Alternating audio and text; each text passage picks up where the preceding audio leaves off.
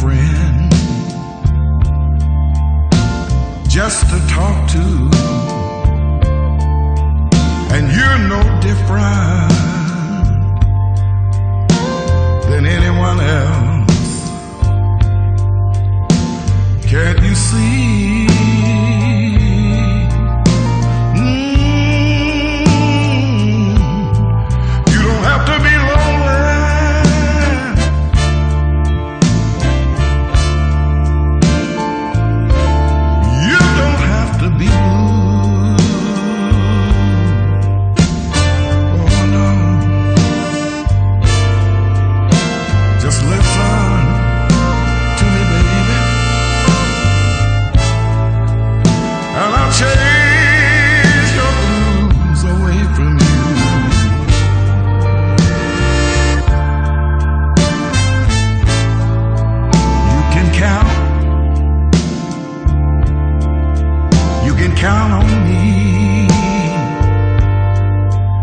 in your time of sorrow.